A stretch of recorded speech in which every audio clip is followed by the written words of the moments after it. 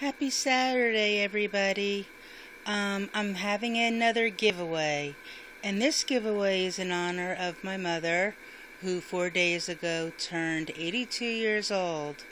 And um, I wasn't with her that day, um, but um, I thought that I would do a giveaway of hair bows.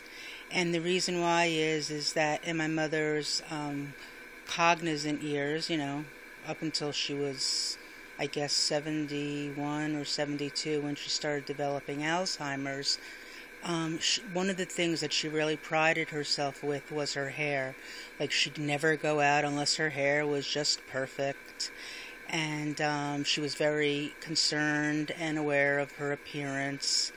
And um, so I thought hair bows would be great and i wanted to honor my mother's birthday um, and since i couldn't i didn't and couldn't do anything with her i thought that the giveaway would be this um, comment below and tell me how do you celebrate your mother's birthday um, if your mother, like this past year or the last couple of years, if um, your mother has, God forbid, passed away, um, how did you celebrate her birthday? Like, what did you do with her to celebrate?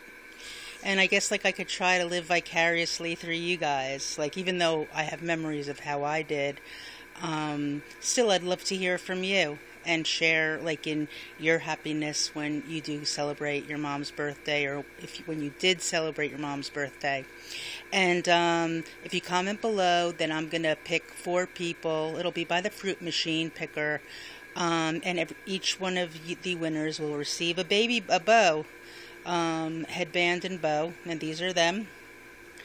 So um, I'm doing this on Saturday. The um, contest will end on Tuesday, and I'll pick a winner on Tuesday. And um, so again, this is honor of my mother's birthday, and she made it another year, which is awesome. And um, uh, yeah, so this is the hair bow giveaway in honor of my mom.